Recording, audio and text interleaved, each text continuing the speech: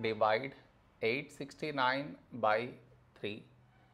To do this division, we should frame it in this way. 869 here, 3 here. This is your step 1.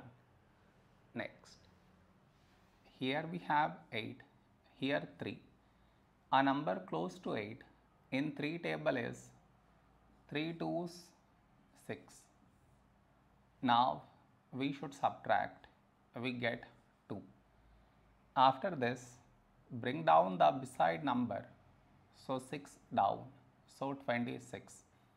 A number close to 26 in 3 table is 3 eights 24.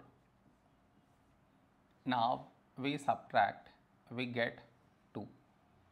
After this, bring down the beside number, so 9 down, so 29.